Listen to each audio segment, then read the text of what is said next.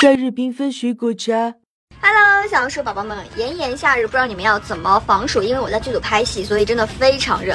但还好，现在感觉有点雨季，就是一下雨就会降温，但其实很点很快就要非常热了。那我就自己平时喝水嘛，又想说不想只喝纯的矿泉水，就想那个水带点味道。那又不能胖，又要抗糖呢，怎么办呢？今天就跟你们分享一款炎炎夏日的一个水果茶。给它取了一个名叫做 清凉夏日水果缤纷水果茶。呃，准备的材料是小金桔，这个是我刚刚切的小金桔，桔，还有百香果。因为我就想给你们录了很久，但是因为一直没有时间，就这个百香果，所以有一点点皱了。但其实它里边还是很新鲜的。然后百香果是一个可以软化血管的一个水果，然后很特别好，然后酸酸甜甜的，应该是软化血管血管。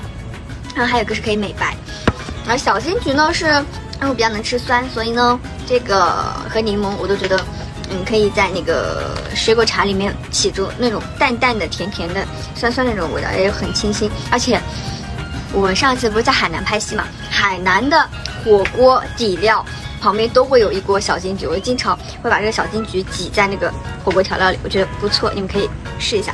好啦，我们接下来开始制作水果茶了。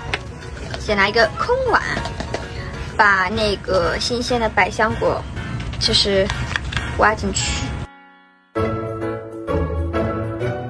这个百香果可以直接泡水喝，但是我今天跟你们分享这个，就是我拿了一个冰格，现在要做就是把这个，呃，一小片一小片放在冰格里，然后呢再倒入百香果。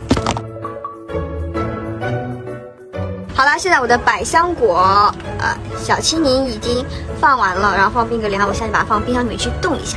哎，我回来了，然后呢，现在已经过了几个小时了，我的冰块已经冰好了，给你们看一下。哇，是这样子，好，哇，超级浓的百香果味，然后就是很清香，很清香。然后呢，要准备一个好看的杯子，这个杯子我特别喜欢，因为它是那种就是七彩琉璃色，然后呢又有点透明。然后还有个好看的搅拌棒。现在呢，我们要把这个百香果柠檬放进去，然后这个杯子里可以加矿泉水，还可以加盐汽水。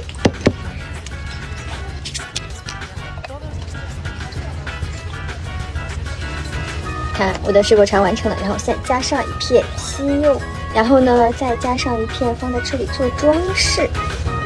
这就是我的夏日缤纷水果茶，DIY 的。然后我希望你们空闲的时候也可以给自己做一杯好喝的水果茶，可以美白。拜拜。